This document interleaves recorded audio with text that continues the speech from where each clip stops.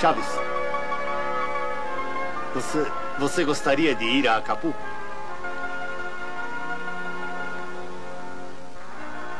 Eu?